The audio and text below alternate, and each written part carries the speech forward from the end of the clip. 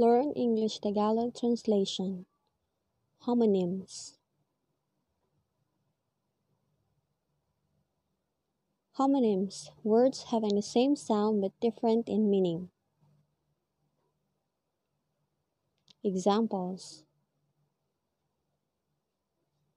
8. Kumain. Walo. Be. Ay. Maging. Pukyutan. Sell. Silid. Ibenta.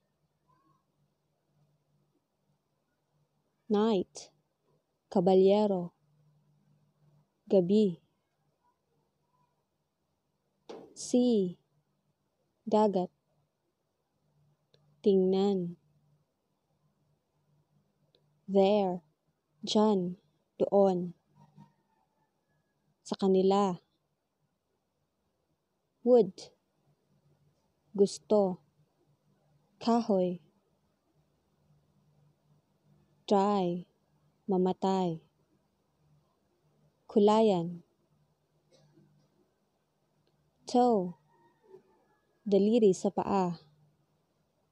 Hilahin. Steal. Magnakaw. Bakal. Nose. Alam. Ilong. Throne. Itinapon. Trono. Brake. Preno. Baliin.